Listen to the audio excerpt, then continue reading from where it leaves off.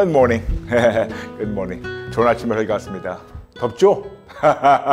여러분, 더위를 날릴 수 있는 방법 알려드릴까요?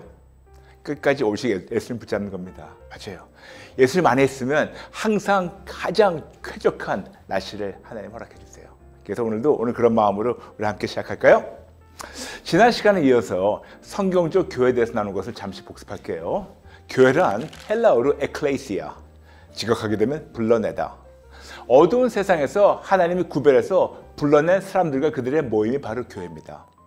예수님만을 주님으로 올려드리는 자들은 차별된 신분으로 세상 사람들과 구별된 삶을 살도록 하나님께서 불러내어서 모이게 하신 것이 바로 교회입니다. 쉽게 얘기해서 교회란 예수님만을 주님으로 인정하고 교회의 머리 대신 예수님을 중심으로 모이는 사람들과 공동체를 뜻합니다. 그러므로 반드시 차별된 신분으로 세상과 구별되어서 소금과 빛의 역할을 감당해야 합니다. 베드로전서 1장 16절 그리고 마태복음 5장 13절과 14절. 제 나름대로 정리한 교회에 다섯 가지 기능이 있는데요. 첫 번째 기능 예배, 두 번째 기능 말씀과 기도, 세 번째 기능 양육, 네 번째 기능 교제, 다섯 번째 기능 전도. 이 다섯 가지를 하나씩 차근차근 살펴보겠습니다. 오늘은 교회 기능 일부 예배에 대해서 나누겠습니다. 예배. 예배란 무엇인가? 예배라는 단어를 영어로 worship, W-O-R-S-H-I-P. 근데 이 단어는 고대 영어 worship에서 나온 단어입니다. worship, W-O-R-T-H-S-H-I-P. worship이란 어떤 가치를 인정하는 것입니다. 그러므로 하나님께 예배를 하나님께 드리는 예배란 하나님의 절대적 가치를 알고 인정하는 것이 바로 예배예요. 그렇다면 하나님의 절대적 가치는 무엇인가요? 하나님만 전지, 전능, 무소부재, 영원, 불변하십니다. 즉 하나님만 절대적으로 좋으시고 절대적으로 크시고 불가능을 가능케 하시는 전능자이십니다. 그러므로 하나님의 절대적 가치란 하나님의 절대적 크심과 좋으심을 뜻합니다. 그래서 성경적 예배란 하나님의 절대적 크심과 좋으심을 알고 인정하고 감사하고 선포하는 것 이것이 바로 예배예요. 이토록 예수를 믿어서 구별된 사람들이 개개인이든 아니면 두세 사람이 모여서 하나님의 절대적 크심과 좋으심을 인정하고 감사하고 선포하는 것이 바로 예배고 그리고 우리는 어떤 지정된 장소와 시간, 즉 교회라는 장소에서 지정된 공예배 시간에 함께 모여서 하나님의 절대적 크심과 좋으심을 인정하고 감사하고 선포하는 예배를 드리게 됩니다. 그리고 이것이 교회 기능 중의 하나입니다. 그런데 이런 하나님의 크심과 좋으심을 어떤 지정된 장소와 시간에만 국한하면 안 됩니다. 하나님은 무소부지 하십니다. 즉 시간과 공간을 초월해서 항상 함께 하십니다. 그리고 교회나 예배당에 지정된 공예배 시간에만 계신 것이 아니고 하루 24시간 언제 어디서나 매 순간 우리가 함께 하시며 우리가 하나님의 절대적 크심과 좋으심을 인정하고 감사하고 선포하기 원하십니다. 그러므로 하나님은 어떤 지정된 장소와 시간 안에만 제발 묶어놓지 말아주시면 감사하겠습니다. 그리고 이제껏 우리가 알고 들었던 예배 방식만 고집하지 마시고 제발 하나님을 하나님 되시도록 매 순간 하나님의 크신과 좋으심을 인정해 주시면 감사하겠습니다. 이토록 하나님은 예수를 믿는 우리가 일상생활을 살아가면서 애주고 하면서 하나님의 절대적 크심과 좋으심을 삶으로 인정하고 감사하고 선포하기를 원하십니다. 그런데 여러분 이것은 제 말이 아니고 예수님 말씀이세요. 요한복음 4장 23절. 아버지께 참되게 예배하는 자들은 영과 진리로 예배할 때가 오나니 곧 이때라. 아버지께서는 자기에게 이렇게 예배하는 자들을 찾으시니라. 아멘. 예수님 말씀하십니다. 곧 이때라고. 어떤 지정된 장소와 시간과 더불어 매 순간 일상생활을 살아가는 그 순간순간마다 예배를 드리는 예배자들을 하나님께서 찾고 계신다고. 그리고 이런 자들을 참 예배자라고 예수님께서 말씀하십니다. 그래서 다시 한번 요한복음 4장 23절 읽어드릴게요. 아버지께 참되게 예배하는 자들은 영과 진리를 예배할 때가 오나니 곧 이때라. 아버지께서는 자기에게 이렇게 예배하는 자들을 찾으시니라. 아멘. 아버지께 참되게 예배하는 자들이란 일상생활을 살아가는 그 순간순간마다 어떤 상황에도 하나님의 절대적 크심과 좋으심을 삶으로 인정하고 감사하고 선포하는 것이며 이런 자들이 하나님 자신은 참 예배자라고 예수님께서 말씀하세요. 그러므로 예배를 어떤 지정된 장소와 시간 그리고 이제껏 해왔던 전통적 방식에만 묶어놓지 마시고 하나님의 절대적 크심과 좋으심을 매 순간 일상생활에서 인정하고 감사하고 선포해 주세요. 그럼 누구에게 하나님의 절대적 크심과 좋으심을 선포해야 할까요? 가장 먼저 나 자신에게. 당연히 우리 모든 피조물과 모든 인류에게 하나님의 크심과 좋으심을 선포해야 되지만 가장 먼저 나 자신에게 선포해야 합니다. 그럼 여러분께 질문하겠습니다. 여러분은 매 순간 하나님의 절대적 크심과 좋으심을 알고 인정하고 감사하며 어떤 상황에도 하나님만 절대적으로 신뢰하십니까? 잠시만요. 실례합니다. 실례합니다. 아니면 여러분이 머리로는 알고 있는데 현실의 어려움이나 문제 앞에서 그냥 속수무책하게 무너지십니까?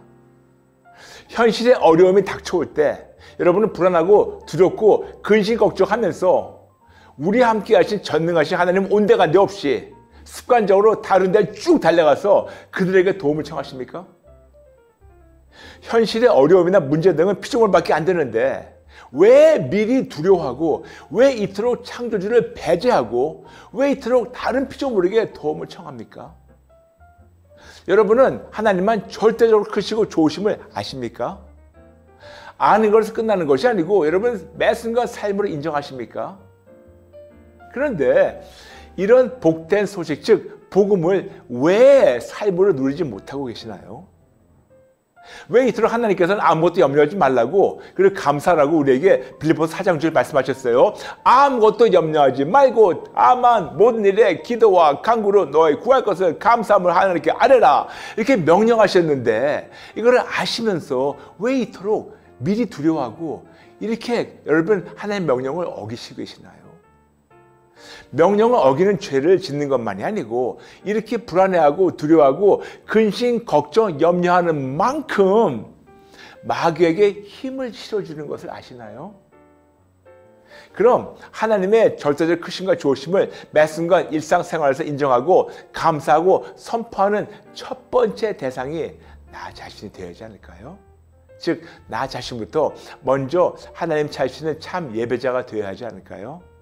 그냥 교회만 다니며 나는 모든 공예배에 다 참석했다고 해서 나는 이 정도 했으면 괜찮다고 착각하지 마시고 내가 먼저 참 예배자가 되면 하나님께서 얼마나 기뻐하실까요? 그리고 그런 참 예배자들 모여서 참 하나님 기뻐하시 예배를 드리는 교회가 되면 정말 얼마나 좋을까요? 그래서 드디어 나 자신에게 선포해서 내가 삶을 누리게 되면 내가 확고부동한 그 확신을 가지고 가장 가까운 사람에게 선포하게 됩니다. 누구냐고요? 가족에게. 그 다음에 지인에게, 교회 식구들에게, 직장 동료에게, 지역 사람들에게, 결국은 이 세계 80억 인구에게 우리는 전파하게 됩니다. 그래서 두 세 사람이 예수님 이름을 모일 때마다 예수님이 함께 하시기 때문에 마태복음 18장 20절 함께 하시는 하나님의 절대적 크심과 좋으심을 매 순간 일상생활에서 인정하고 감사하고 선포하게 되는데 그럴 때 비로소 우리는 참 예배자가 되며 하나님께서 이런 자를 찾으셔서 놀라운 은혜와 축복을 예배하시고 부어주시고 하십니다. 여호와의 눈은 온 땅을 두루 감찰하사 전심으로 자기의 향하는 자를 위하여 능력을 베푸신다고 역대하 16장 9절 말씀하고 있으며 먼저 그의 나라와 그의 의를 구하며 이 모든 것을 더해주고 원하신다고 우리에게 마태복음 6장 33절 말씀하고 있습니다. 그러므로 오직 예수님만 영순을 드리는 겁니다. 그리고 이렇게 차별된 신분으로 세상 사람들과 구별된 삶을 살도록 하나님께서 불러내어서 모이게 하신 것이 바로 교회이며 이렇게 일상생활을 살아가면서 하나님의 크신과 좋으심을 인정하고 감사하고 선포하며 누리는 것이 바로 교회의 기능 중의 하나인 예배입니다. 아멘.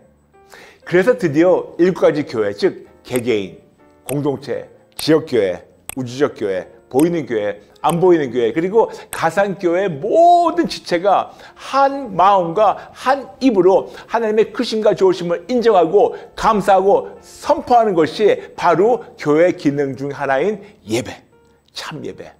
로마서 15장 5절부터 6절. 이제 인내와 위로의 하나님이 너희로 그리스도 예수를 본받아 서로 뜻이 같게 하여 주사 한 마음과 한 입으로 하나님 곧 우리 주 예수 그리스도의 아버지 아버지께 영광을 돌리게 하려 하노라. 아멘 아멘 아멘. 오늘 말씀을 정리하겠습니다. 교회의 기능 중에 하나인 예배란 일상생활을 살아가면서 하나님의 크신과 좋으심을 인정하고 감사하고 선포하고 누리며 차별된 신분으로 세상과 구별되어서 소금과 빛의 역할을 감당하는 겁니다. 아멘? 아멘. 그렇다면 교회의 두 번째 기능, 즉 말씀과 기도는 무엇인가요? 궁금하시죠?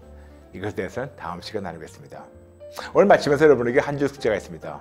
오늘 편을 몇 번 더 시청하시고 중요합니다. 많은 분들과 나눠주세요. 특히 예배에 대해서. 그리고 감사 노트 함께 쓰기가 있습니다. 오늘 여러분과 성경 구절을 많이 나눴어요. 오늘 나눈 많은 성경 구절을 꼭 쓰시고 묵상해 주세요. 그리고 나에게 질문합니다.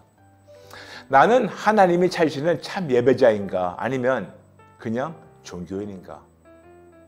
나는 왜 일상생활을 살아가면서 하나님의 크신과 좋으심을 인정하고 감사하고 선포하며 누리지 못하는가? 만일 그동안 종교적이며 형식적인 예배만 드렸다면 이런 잘못된 것을 항복하고 회개하고 새롭게 시작하겠다고 결단하며 우리 같이 실천해 볼까요? 할 수 있어요, 여러분? 할 수 있어요. 해야 됩니다, 여러분. 네. 저와 함께 같이 기도 따라해 주시면 감사하겠습니다. 따라해 주세요. 하나님 아버지, 죄송합니다. 잘못했습니다. 그동안 너무나 형식적인 예배만 드렸습니다. 형식적인 종교적 예배만 드린 것을 인정하며 항복하고 회개합니다. 이제부터 하나님이 기뻐하시는 예배자가 되겠습니다. 저에게 먼저 하나님의 크신과 좋으심을 제 귀가 듣도록 선포하며 삶을 누리도록 도와주세요. 예수님 도와주세요. 더 이상 종교인이 아닌 진짜 크리스천 되도록 예수님 도와주세요. 예수님 이름으로 기도합니다. 아멘. 오늘 나눈 내용 중에서 궁금한 점에 질문을 주시면 댓글 나눠주세요. 이번 주 요요 시간에 나눠드릴게요. 여러분 감사합니다. 끝까지 예수님 붙잡고 진짜 하나님 기뻐하시는 참 예배자로 우뚝 쓰신 여러분 되시길 축복합니다. 감사합니다. 사랑합니다. 축복합니다. 다음 시간에 뵐게요. God bless you.